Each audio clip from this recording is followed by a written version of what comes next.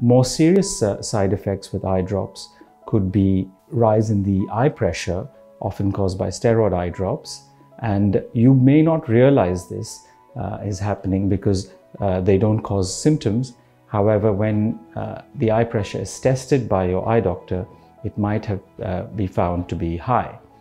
If you are using uh, these drops for a long time, it can result in damage to the nerve of the eye, uh, which will then need further treatment.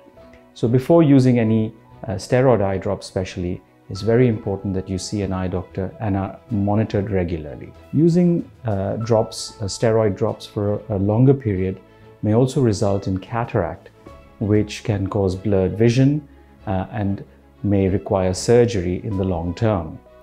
Prescription for steroid eye drops must be given only by uh, an ophthalmologist and the uh, use of this should be monitored. Oftentimes patients do need to use these drops for a long time based on their eye condition, but that would be monitored by their eye doctor.